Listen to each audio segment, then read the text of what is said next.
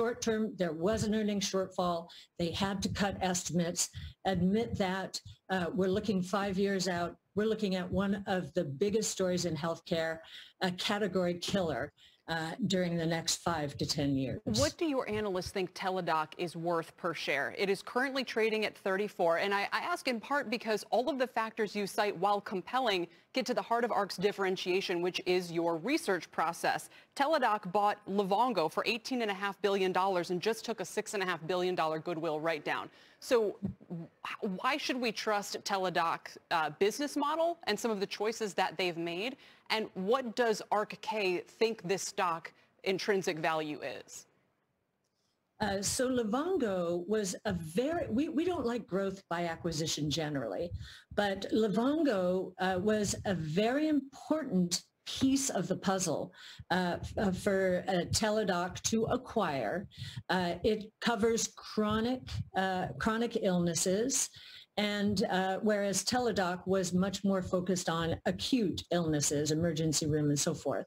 Uh, so it needed that uh, recurring revenue base. And the other thing that, that Livongo brought was a huge amount of data. This is a data story as all artificial intelligence winner take most opportunities are. Uh, and we have two data science organizations coming together, Teladoc and Livongo. They brought in Claus Jensen from Memorial Sloan Kettering to run it.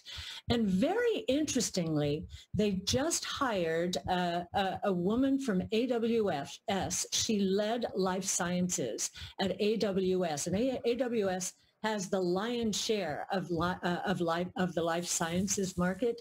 She chose, of all companies out there, to join, uh, to join Teladoc. She, her background is United Health, J&J, uh, and then AWS.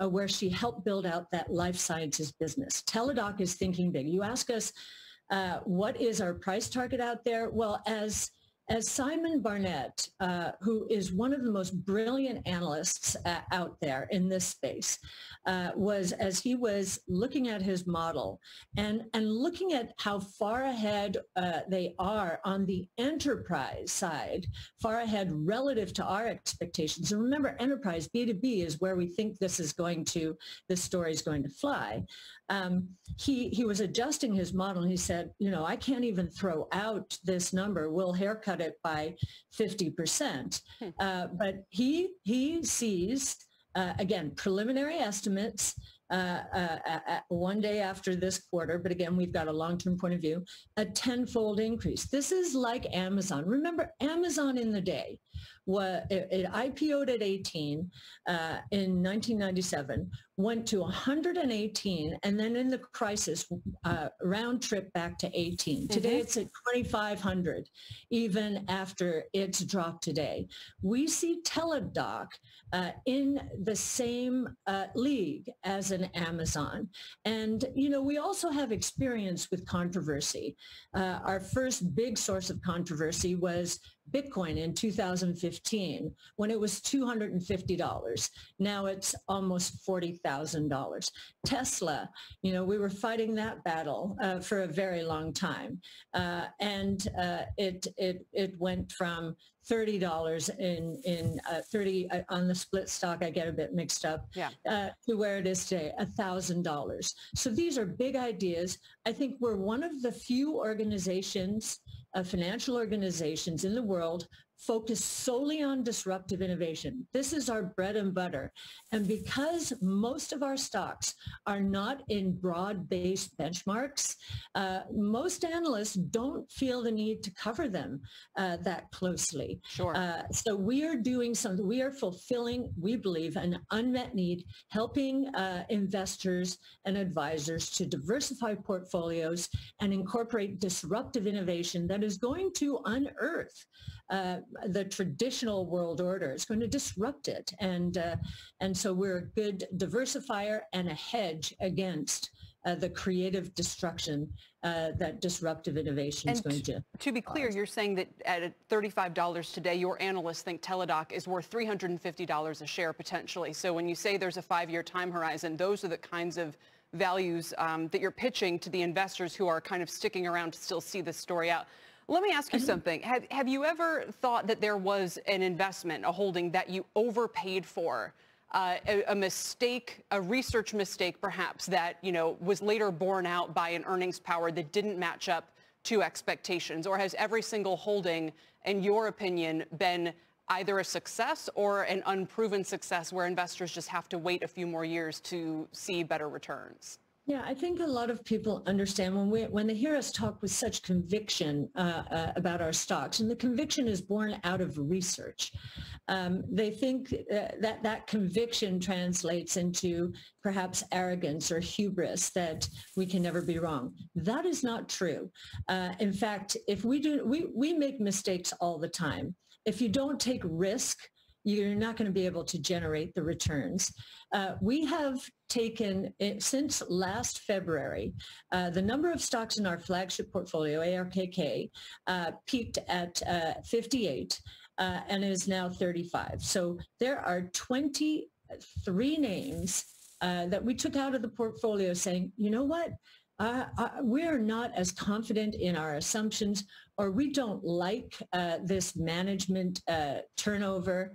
Uh, management uh, changes we watch like a hawk, and that's why I mentioned those on Teladoc. Mm-hmm. We're very impressed with the talent they're attracting. So no, we are we we are going to be wrong. Uh, we are. I'm sure we have mistakes in the portfolio now, uh, and many people would say, "Well, look at the stock price. It's uh, for ARKK. It's been decimated. It's been decimated, and it's." Treated treating our, our, our stocks and our portfolios as though it is 1999 when there were a lot of companies that were uh, uh, that were founded that that actually failed.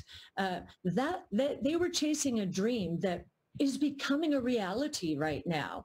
And we are investing in that reality, even though many investors, unlike the late 90s, are running away from innovation, running into their benchmarks and, uh, and, and selling our stocks. Final question, you mentioned management.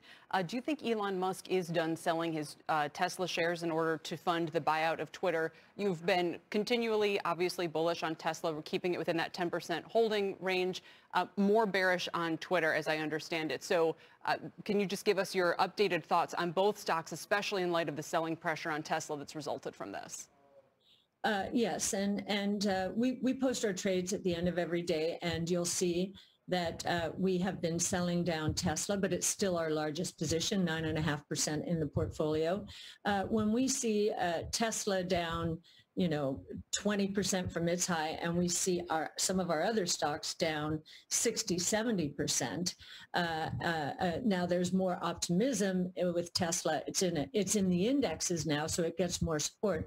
We're going to make that kind kind of trade, but our confidence in what Tesla's kind of trades? You mean you're following, you're selling out of it because of the price action in some of the smaller, more beaten down stocks? Yeah. So portfolio management means uh, if a stock is, uh, especially over the past year and a half, Tesla uh, has been a moonshot, mm-hmm. uh, and our confidence is very high. But it is it is maintained uh, its valuation relative to some of the other names, in which our confidence also have in, has increased.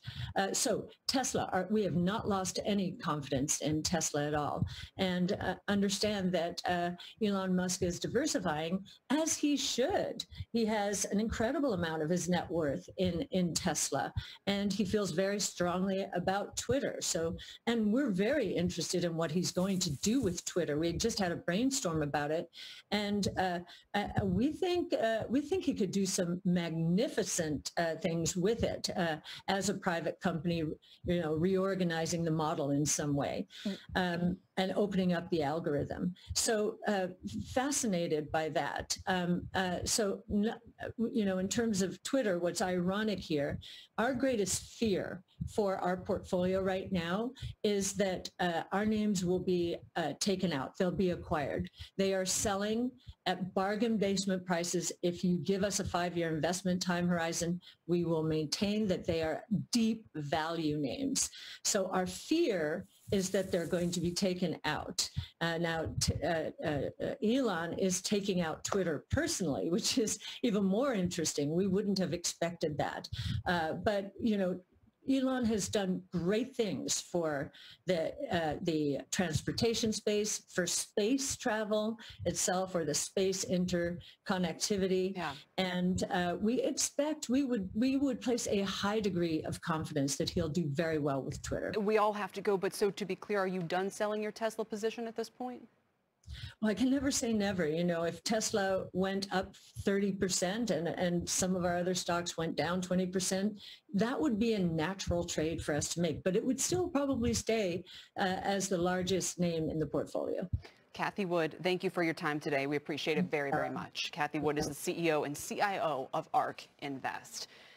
Still ahead on the exchange, we'll talk about how many rate hikes are priced into the market and if the Fed would be any closer to a full point